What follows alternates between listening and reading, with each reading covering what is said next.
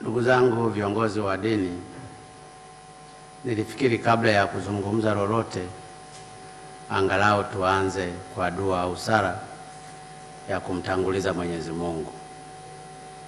Sasa napata ugumu wa kumwinua nani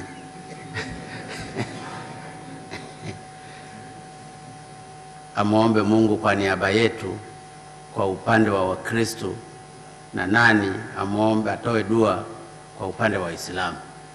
Huu mpira nawaachia ninyi, au kama yupo anaweza akapiga zote kwa wakati mmoja, itakuwa mwafaka zaidi.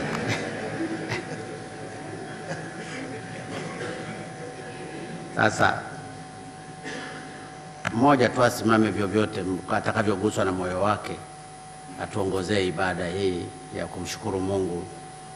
Tuanze kikao chetu hiki kidogo.